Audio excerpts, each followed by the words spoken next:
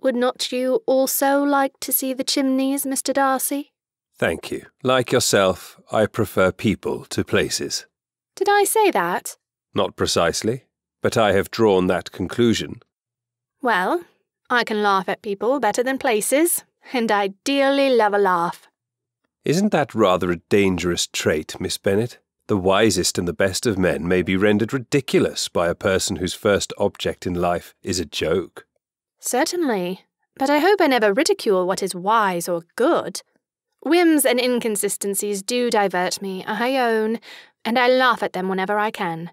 But these, I suppose, are precisely what you are without.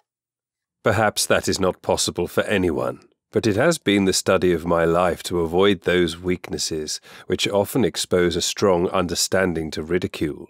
And in your list of weaknesses, do you include such faults as vanity and pride, for instance?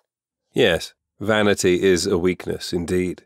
But pride, where there is a real superiority of mind, pride will be always under good regulation. I am perfectly convinced, Mr. Darcy, that you have no defect. I have made no such pretension, Miss Bennet. I have faults enough. My temper I dare not vouch for. I cannot forget the follies and vices of others against myself. My good opinion, once lost, is lost forever.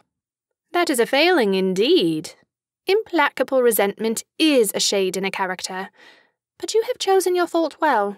I really cannot laugh at it. You are safe from me.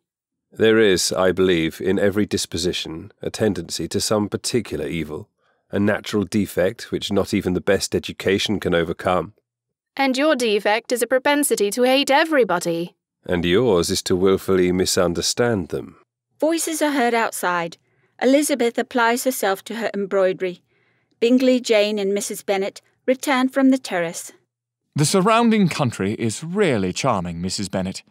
We think so. But you must give us a ball at Netherfield, Mr. Bingley, and then you will see that some of the people who live here are worth knowing. Oh, Mamma. Mamma. Certainly, Mrs. Bennet, I have already decided upon it. I told Mr. Darcy only yesterday that as soon as my sister, Miss Bingley, arrived, and Nicholas could make white soup enough, I should send out my cards. Did I not, Darcy? I believe you did. Well, that is vastly good in you, Mr. Bingley. And then perhaps your friend may change his mind about the country. You didn't come to admire Sir William's chimneys, Mr. Darcy. I was admiring your daughter's work, madam. Oh, you should see Jane's work. Lizzie is all for books like her father. She is a great reader and has no pleasure in anything else. Jane, show your embroidered parrot to Mr. Bingley. I do not think Mr. Bingley would be interested, ma'am. Oh, indeed I should, Miss Bennet. I am very much interested in parrots. Pray, show it to me. Yes, and the new hand screen. I will find it for you. All three withdraw, leaving Elizabeth and Darcy together. And so you are a great reader and take no pleasure in anything else?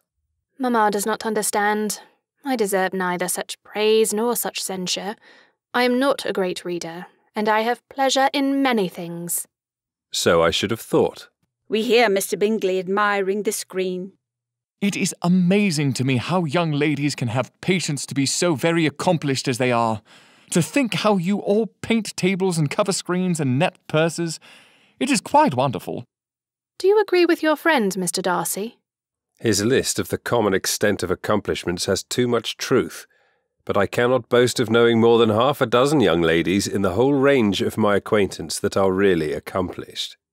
Then you must comprehend a great deal in your idea of an accomplished woman. Perhaps. To deserve the word, a woman must have a thorough knowledge of music, singing, drawing, dancing, and the modern languages.